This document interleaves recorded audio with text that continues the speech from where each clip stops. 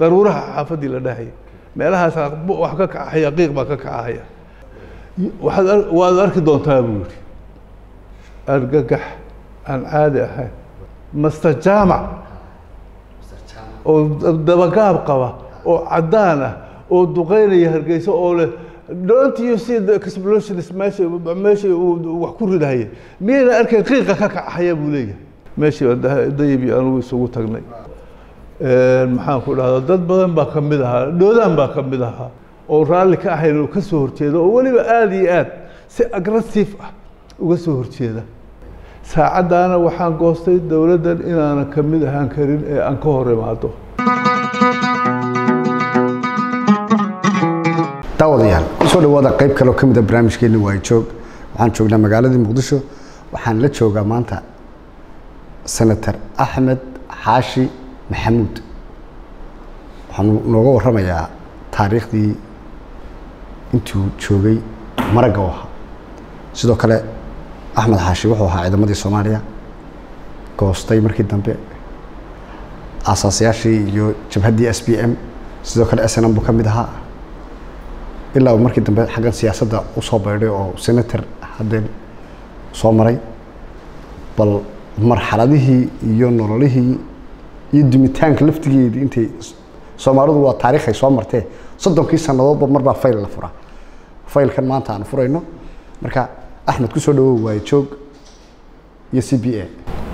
Naas waa mahadsan tahay aada iyo aad baan ugu faraxsanahay. Waa dhowahay axmedow halkeed ku dhalatay xillimaad dhalatay? Eh, waxaan dhashay ninety one-kii maxaa fifteen nine fifteen nineteen fifty one fifty one koob iyo kontonkii ahay kun iyo sagaal boqol iyo koob iyo kontonkii waxaan ku dhashay kismaayo. Kismaayo. Waxaan ku barbaaray magaalada muqdisho. Haye. Dugsiga hoose dugsiga dhexe dugsiga sare qeyb ka mida waxaan kaga baxay muqdisho iskoola macalin jaabac iskoolkii la dhihi jiray.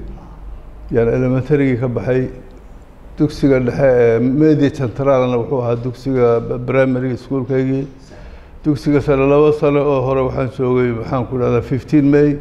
Labadiis dambana eleven january baydhaba form four iyo form three kulleejka ayaan ku jiray. Axmedow barbaaristaadii iyo waxbarashadaadii soo eegna xillimaad shaqo bilowdood ciidamada iyo halkaa aad. Ciidanka waxaan ku baray nineteen seventy four waxaa waxbarasho u tegay gudaha iyo dibadda waa ciraaq waxbarasho u tegey Eh, maxaan ku idhaahdaa markii dambena waxaan ka noqday kuliyaddan macallin ka noqday eightigii waxaa la ii bedelay qeybta lix iyo labaatanaad ee waqooyi hargeysa. Waxaa joogay ilaa iyo siddeetan iyo lixdii baan halkaa joogay. Waxa weeye waxaan ahaa madaxa saadka qaybta lix iyo labaatanaad. Ma wakti waxaan ahaa madaxa laanta sadka. Ka bacdina waxaa noqday madaxa waaxda sadka qaybta lix labaatanaad. Maxaan ku uri saadka qaybta lix labaatanaad baan noqday. Okay ka waran dowladihii rayidkahaa iyo marxaladihii inta aad ka ogeyd adigu ay soo mareen. Bismi raxmaan raxiim dowladihii maxaan ku dhaha reedka ahaa oo madaxweynihii horeeyey oo dowladdii u horeysay wuxuu ahaa aadan cabdullahi cusmaan. Xogo badan maxaan ku dhahdaa kama heli karayo nin waktigaa iyada xagga cimriga dartiis. Laakiin waxa weeye waxaa wax badan baan ka garan karahayaa. Allah u naxariista aadan cabdullahi cusmaan. Insaan wuxuu ahaa soomaali xaqiiqo ah musuq maasuq ka madax bannaan qabyaaladna ka madax bannaan caadil ah run ahaantii inta aan ka dareensanahay waa intaasaa ka mid ah. Waxaa weeye aadan cabdulla cusmaan nin maamul yaqaana buu ahaa. Nin maxaan ku dhahdaa caadifad caadifadu ay jiidatana maanu ahayn. Wuxuu ahaa nin run ahaantii rugcadaa soomaaliyeed aqoon adduunka u leh sida wax u socdaan garanaya dalkana si wanaagsan oo degenaanshaha buu ku hogaaminhayay waxaan garanayaa maxaa siddeetan iyo maxaa kun sagaal boqol lixdan iyo afartii beriman lulia loo dabaaldegahayay. Anugu waxaan ku jiray maxaan ku rahdaay ardadii samaynhayay maxaan ku rahdaay timlastikada bir lagu shiday maxaan ku dhahdaa gaas iyo waxaasoo gubanaysaanu ka dhex dusaynay. Waxaa garab taagnaa maxaan ku dhahdaay maxaan baxsan oo aada u qurux badan oo dhar qurux badan oo cad wadata. Dareenkaan dareemahayo markaana bilad buu siiyey. Baxsan. Bilad buu siiyey dad kale oo la siiyey waxaa jira iyaguna mustafa xaji cilmi isaguna uu ku jiro bilada markaa dadka la siinayay. Laakiin baxsan baan aada u dareemaya dhar cad oo aada u qurux badan iyadoo qabto iyadoo qurux badan allah u naxariisto labadoodaba. Kolka wuxuu ahaa nin maxaan ku rahda statesman soomaaliyeed oo dhaba buu ninkaasu ahaa. kun iyo sagaal boqol iyo lixdan iyo sagaalkii waxaa dhacay afgambi. Arday baad laakiin ahayd xilligaa xageed joogtay maalinkii afgambi ku dhacay xilligaa uu afgambi ku dhacay. Meel hadda aan inaga fogeyn boondheere aad bay inoogu dhowdahay waxaa weeye subaxnimo anigoo iskoolka inaan u baxa raba oo iskoolkii kolkaa aan isu diyaarinayno. Yaa waxaan maqlay nimo qaylinayo dalkii waa la qabsaday dalkii askar baa qabsatay dalkii military baa qabsaday buu leeyahay. Darishadii baan furay waxaan arkay kabtan booliisa oo lugeynhaya waan soo baxay waxa uu leeyahay waa la qabsaday ciidamaa qabsaday. Gurigana wuxuu ku dheganaa laamiga waan soo baxay laamigaan istaagay baarlamaankii hore hadda inaga soo horjeeda. Banaankiisa ayaa waxaan arkay technicadii militariga oo fadhida. Kolkaasaa horta maxaan ku dhahdaay aan ogaaday intiqilaabka thawra dhacday. Kabacdi dadkii shacabkii soomaaliyeed oo taageerahaya oo soo baxay oo maxaan ku dhahdaa meeshii baarlamaanka hortiisii dabaalde ku sameynaya oo iyo radio muqdisho oo waabaa baryey bilicsan qaadahaya taasaanu ku soo kacnay kolka waxay ahayd maalin run ahaantii aanu shacabka soomaaliyeed guud ahaan oo aada iyo aada u raalli ahaa oo la soo dhoweynayey inqilaabka militariga shacabka soomaaliyed wuu soo dhoweynayey rajana wuxuu ka qabay in xaaladda soomaaliya wax iska bedelaan waxaa dhacday dowlad baa la dhisay xoog bay yeelatay askartii la qortay xilligaa la qaatay ee de weliba seven seven baa markaa loo gudbay. Ka waran dagaalkii seven seven intaad ka ogey waxa dagaalkaas isaga waxaa dhihi lahaa rag badan oo iga fara dhuuban baa jira. Waxaa ka mid a waxaan ku dhahdaay axmed cumar jees baa ka mid ah waxaa ka mid ah axmed kharash nin la yidhaahdo hadda halkana halkanaan deganahay nala degan in axmed ismaaciil yaa ka mid ah oo weliba aan dhihi karahay isagu wuxuu ahaa raggii ugu horreeyey gudaha galaa ee jabhaddii. Intaan militariba gelin. Abaanduulihii ciidankii gudaha galay buu ahaayee jabhadda caawinayey qolyahaasaan anigu u daynayaa seven seven iyo hawshooda waayo iyagaa iga khibrad badan. Ciidankii soomaalidu way soo jabeen. Halkaa waxaa ka bilaabmaya jabhadihii iyo fashilkii iyo afgembiyadii afgembiyadii balka war ilan ciidan baa wada hayde waxaa weeye sagaal waxaa afgembiyadii way jireen dhaqdhaqaaq baa jiray waddan kolkuu dagaal galo. Waxaa caadiya mar walba maxaan ku dhahdaay isbeddel inuu yimaado.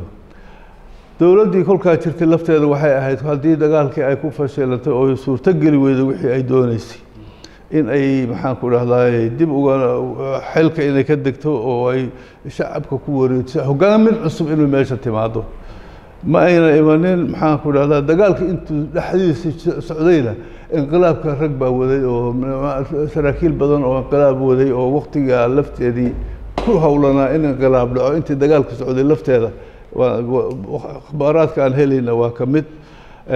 Waxaan ku dhaha dagaalkii waxaa ugu horreysay sagaalkii abriil inqilaabkii ahaabaa ugu horreeyey ma uusan guulaysanin mana ahayn run ahaantii si mataqaanaa aada u dhisan muusan looma habeynin waktigiina waxaad moodaa sidaan gadaal ka ogaanayo amaan coreysiyadii cabdullaahi yuusuf ka helayno waktigii loogu talagalay wakti aan ahayn ba yaa la dedejiyey kaas waxaa weeye dhibaato badan bay keentay.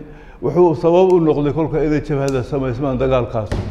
Inqilaabkaas ayaa sabab u noqday in dalka jabhadu ay samaysmaan saraakiilu inay dalkooda ka cararaan saraakiilu inay galaan maxaan ku dhahdaayey waddamadii ay markii hore la dagaalamayeen ama u yaqaaneen cadowgooda koowaad inay nasteex u noqdaan oy galaan waxaa keenay khalkhalka isaga.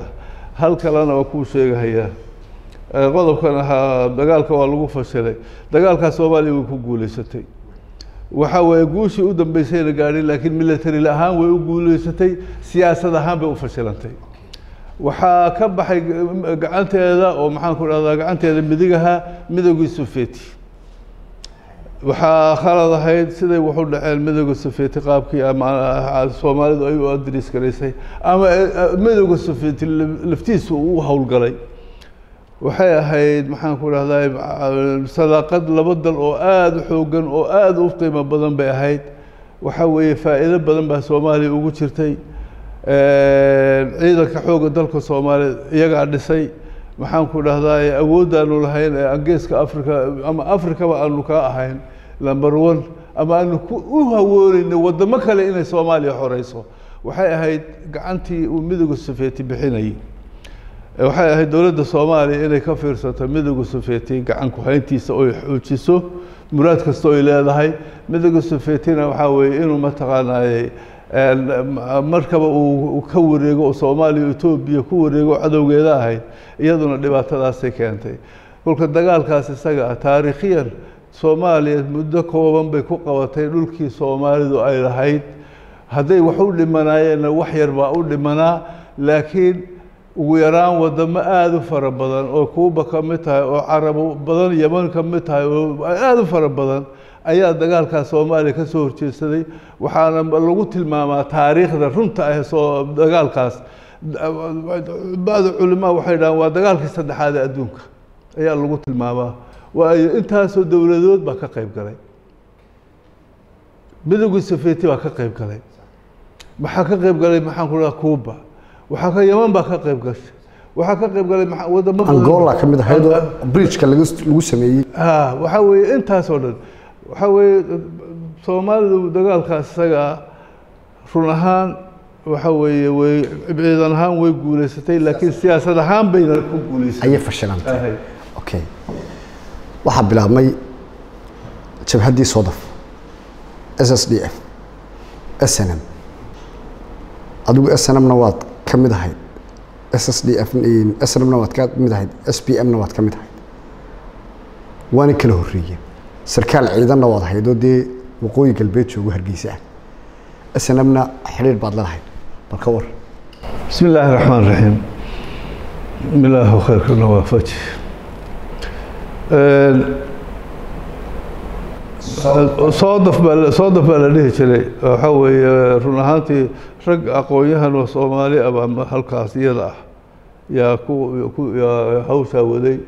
Haddana waxay isu bedeshay s s d f bay isu bedeshay maxaan ku idhaahdaa waxaana keenay inqilaabkii fashilay sagaalkii abriil sidaan horeyba u soo sheegay. Waxaan dhici karahayaa waxay ahayd maxaan ku idhahdaa sharkii ugu horreeyey ee soomaaliya ka bilowday bay jabhadahaas u ahaayeen. Waxaanu dowlad baanu haysanay haba waxyaabo badan ha khaldanaado. Laakiin dowlad maxaan ku idhahdaa qawi leh oo soomaaliya oo adduunka laga tixgeliyo oo ku fakeraysa africa inay xoreyso iyo waddamada xoreysayna xoreysayna yaanu haysanay jabhadihii iyo wixii maamulya xumadii xoogaa jirtay iyo dagaalkii lagu fashilay wixii oo isbiirsaday. Saraakiil badan oo anugu ka mid ahay waxay waxay goosteen inay ka baxaan dalka. Etoobiya iyo halkaana dhabarka geliyaan. Soomaaliyana ku soo duulaan. Waxaa weeye soomaaliya maxaan ku idhahdaay waktigaa iyada awood badanay qaadi kartay oo dagaalkaasa mayna jirin oo gudaheeday kala daadsanayd aad bay u kala daadsanayd iskamayna difaaci karin jabhadahaas iyaga ah. Waa nasiib darra arrintaa iyada ah. Kolkaan iyo arrintaa ku laabto aniga maxaa maxaan ku dhahdaay hal shay oon rabo inaan idinla wadaago. Waxaa weeye bishii juun maxaan ku dhahdaa juun maxaan juun tobankeedii xamar layga soo bedelay oo hargeysa la ii soo bedelay bishii juun siddeetan iyo sideedii waxaa weeye airboortka diyaarad military baa xamar iga qaaday. Airboortka kolkaan ka degay hargeysa gaari baa ii yimid sarkaal wado waa la qaaday qeybtii baa la geeyey. Laamigii meeshii aan mari lahaa laamigii layma marinin. Waxaa lay mariyey kor iyo buurta xagga ina qorboosh meesha ayaxa ayaan ka degnay qeybta ayaan halkaa ka gallay. Maxaa ta maxaa dhacay baa idhi maa laamigana marisaan baa idhi. Waa la haystaa baa idhi laamiga. Dumbuluq iyo iyo maxaan ku dhahdaay wixii oo dhan waa la haystaa baa la yidhi haddii maxaan ku dhahdaa taas horta waxay igu ahayd fajicisay markii koowaad igu ahayd. Dhowr beri ka bacdi yaa waxaan tagnay aniga saraakiil kale maxaan ku dhahdaay mataarka meesha xafiiska meesha laga haga diyaaradaha ayaan tagnay. Ninkii wariyaha maxaan ku dhahdaa diyaaradda hagahayaa wuxuu leeyahay jaamac how read? Jaamac how read waxaa u jawaabaya nin kale oo five by five. Waa wixii baan fahmi waayey kolka. Waxaa weeye waxaan filahayaa inay tahay ama labiyo tobankii ama saddex iyo tobankii meelahaas weeye. June waa eight eightkii. Magaalada magaalada hargeysa ayay diyaaraddanu garaacaysaa. Magaaladii garaacaysaa. Isbeshaali waxaa ka baxahaya airbortka ama radio radio hargeysa gadaashiisa. Daruuraha xaafaddii la dhahaya meelahaas wax ka kacahaya qiiq baa ka kacahaya ninkiiba waxaa idhi waa whois jaamac? baan idhi. Ninka jawaabahaya codkiisu nin soomaaliya ma aha. Whois jaamac? baan ku idhi ninkii hagahayay diyaaradda. Waxaad waad arki doontaa buu yidhi. Wax yar ka bacdi diyaarad hantaraa soo degtay waan fiirinayey nin dabagaab qaba oo caddaana baa ka soo degay. Waxaan ku idhi isdaad mase jaamac haa buu igu yidhi. Waxaa weeye kalima arrintaas waxay igu riday argagax aan caadi ahayn. Saacaddaana waxaan goostay dowladdan inaanan ka mid ahaan karin ee aan ka hor imaado eeraboorka anigoo jooga ayaan arrintaa go'aansaday sababta keentay baxsigayga iyo ka hor imaadka dowladda arrintaasay ahayd master jaamac oo dabagaab qaba oo caddaan ah oo duqeynaya hargeysa oo leh. Don't you see the explosions meesha meesha uu wax ku ridahaya miyayna arkayn qiiqa ka kacahaya buu leeyahay. Waan fiirinaya mise uura kacaysa wuu soo degay waa jaamac waa jaamac makanba waa jaamac waa kan baa laygu yiri waxay igu keentay taasu niyad jab iyo maxaan ku dhahdaa foolxumo go'aan baan gaadhay saacaddaa laga yaaba maalinkaa maalinkii ku xigay axmed sheekh nin la yidhaahdo oo corneyla ayaan marti qaaday waxaan uga sheekeeyey arrintii waxaanan ka codsaday dowladda inaan ka hor nimaado maalintii ku xigtay uuna ila qaatay run ahaantii laakiin muuse fulinin. Maalintii ku xigtay waxaan waxaan la kulmay nin la yidhaahdo allah naxariistee maxaan ku dhahdaa kooratan nin cabdikariin waa u dhintay. Keligii sarkaal ama kooratan labadaba waa la dhihi jiray nin maxaan sarkaal adag buu ahaa. Waan isla fahamnay isagana in maxaan ku dhahdaa foolxuma ay jirto. Waxaa joogay kolkaa qeybta oo si dulsaara u joogay rasmi aan u joogin axmed cumar jees oo laftiisa already kolkaa hawshaa iyadoo ay dhacayso. Isagu diidan arrintan oo raalli ka ahayn oo ka soo horjeeda oo weliba aada iyo aad si agressive ah uga soo horjeeda. Axmed cumar jees waa u tegay isagana waxa weeye waa wada hadalay. Waxay noqotay kolkaa maxaan ku dhahdaay inaan hawshii halkaas ay ka ay haw sii socoto. Saraakiil badan baa ka qayb gashay dad badan baa ka qayb galay. Sidaas ayay ahayd sababta keentay maxaan ku dhahdaay baxsiga inaanu baxsanno ama anigu waxa igu ridayo waxay ahayd diyaaraddaas hantarka ee uu jaamac ku duulahayay oo aan arkahayay qaraxyada ay ka sameynaysay haddii ay maxaan ku dhahdaay saraakiil s n m qabiil ahaan u diidanayeen anigu soomaalinimaan u diidanaa u go'aanka u gaadhay. Soomaalinimo. Waxa weeye waxa weeye waa arrin ay andarayn ahayd waana arrimaha taariikhda ah ee ay tirsanayso maxaan ku dhahdaa reer waqooyi ama somalilan ay tirsanayaan bay arrintaas ka mid tahay waxa weeye maxaan ku dhahdaa diyaaraddii dalku lahaa in maxaan ku dhahdaa in heerkaa ay gaadho. Way dhacday keligood ma aha. Ciidamadu way laayeen soomaaliya oo dhan.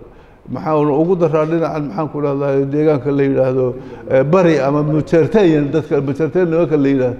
Dadka ugu ugu dhibaato badan ee dhibaatada ku dhacday bay ahayd oo dhib uu dadku soo wada gaadhay laakiin maalinba maalin bay aadaysay.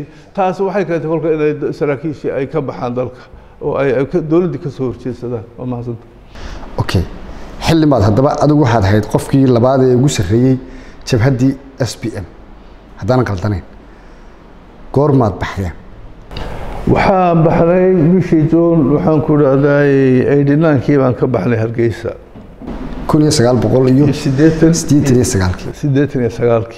yaan ka baxnay hargeysa. Xaggee ka baxdeen? Yaa. Waxaa weeye mudday soo jiitamaysay. Dowladdii waxaa weeye annaga oo ciidamo wadana ayaanu meesha ku dhex jabhadaynaynay. Anigu weliba waan isqarinhayay. Anigu personal waan qarsoonaa run ahaantii. Laakiin axmed cumar jaasi iyo saraakiisha kale bannaankay u soo baxeen ciidamadii bay maxaan ku dhaha ciidamadii in badan oo ka mid a ayaa maxaan ku dhahdaa gacantanada ku jirtay. Waxa weeye maxaan ku dhahdaa dhul qaybo dhan baa maxaan ku dhahdaa aan ciidamadii aan kaga soo horjeednay qaybta kale. Waxa weeye mudday socotay arrintaasu. Markii u dambeysay waxay gaadhay meel adag oo maxaan ku dhahdaa aan lahayn. Sii daba socod iyo dagaal in maxaan ku dhahda waxaa la yidhaahdaa soomaalida waxay ku maamaali jirtay ritiga iyo ninka kolkii labadooda ritiga uu ka dhex baxo labada nin ay isku haysata ritiga labada nin baa isku dhacahaya. Waktigaasay gaadhay in la isku dhaca bay gaadhay weerar bay dowladdii soo qaaday. Run ahaantii maxaan ku dhahdaa sidaas ayaa ku baxay aanu meesha uga baxnay. Anigu weliba saddex maalmood baan ka dambeeyey oo bixitaanka saddex maalmood baan ka dambeeyey. Sabab aan uga dambeeyey oo rasmi ana waxay ahayd maxaan ku dhahdaa waktigaas mushahaarkii baa yimid oo lacag aan kolkaa bixinaynay baa jirtay. Mushahaarkii meelihii aan xukumay haddii aan ciidanka meeshi kolkaa baxi lahaa lacagtii isagaa la baxsadaa lay dhihi lahaa. Si aan kolkaa askarta mushaharkoodii u siiyo ayaan u galay in maxaan ku dhahday inaan hawshaas saddexdaa maalmood dib u dhaco. Maalinkii dambena waxaan ka baxay maxaan ku dhahday magaaladan goor barqanimaa ka baxay. Makhaayadda inantaan ka leexday waxaan xusuusnahay dayib guri allahu naxariistay ayaa meel meeshaa u dhow igu sugahayay. Meeshii baa dayib iyo anugu isugu tagnay. Ku sugay markaa biyashiinaha halkaas biyashiinuhu ku sugay. Ahay ahay. Okay. halkaas ugu sugahayay. Waa tallowdeen. Snm baad markaa u tallowdeen. Oo s b m goormaa la sameeyey? S b m waxaa weeye waktigaasaa la sameeyey. Waxaa weeye meesha halkan dhoobley kismaayo ayaa rabshooyin ka dhaceen. Waxaa ka dhacay maxaan ku dhahdaa wax badan oo foolxumaa baa kismaayo ka dhacday. Waxaa baxay ciidamo badan baa baxay oo uu hogaaminayay bashiir cali salaad nin la dhihi jiray bashiir bilileqo maxaan ku dhahdaa dad badan baa ka mid ahaa dhoodaan baa ka mid ahaa. Abwaankii dhoodaan ahaa baa ka mid ahaa. Dad badan baa baxay maxaan ku jabhad bay hawlka hawdka galeen dowladdii bay la dagaalami jireen. Waxaa ka mid ah isna nin shukri weyrax la yidhaahdo hadda jooga kismaayo ka mid ahaa raggii hogaaminaya jabhaddaas. Waxaa weeye nimankaasu kolkay baxeen waa xidhiidh baanu anana lahayn oo xaggaanu joognay. Waxayna soo wargelinayeen maxaan ku dhaha hadba wixii tallaabo eh la gelin karaya saynu warar baanu idaaca ku xidhiidhaynay waxay soo gudbiyeen maxaan ku dhaha magacyo dhowrahoo magacii loo bixin lahaa jabhadda maxaa waxaa la isku raacay in la in la sameeyo s b m. Maxaa ku dhahday raggii koonfur joogay baana hada magacaas. Nin la yidhaahda ayaa kelimadda leh. Iile wuu dhintay allah naxariisto ninkaa ayaa leh maxaan ku dhahdaa kelimadda saddexda xarafkan somali patriotic movement wey s b m. Ninkaasaa lahaa sidaasayna ku aasaasantay okay. Snm baa u tagteen oo weli dhowr iyo sagaashankii siddeetan iyo sagaalkii baynu joognay. Snm aa u tagtaan oo dowladdii aa ka mid kahaydeen waa ka baxdeen. Maxaa snm kula heshiiseen ama ku wada heshiiseen waxaa waaye snm iyada oo annagoo dagaalka ku jiro isla inaynaanu xidhiidh lahayn.